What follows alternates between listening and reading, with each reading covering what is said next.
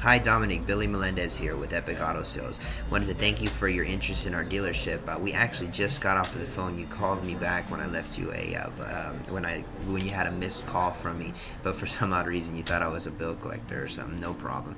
Uh, call me back. The phone number right here. 281-955-6555. I have some great news for you, sir. I know you're in the market for a vehicle right now, and uh, this I can help you out. I got an approval for you here at my dealership today. Me back. Hopefully, we can set you up with an appointment and make this car buying experience for you both a smooth one and memorable. Look forward to hearing from you. Take care.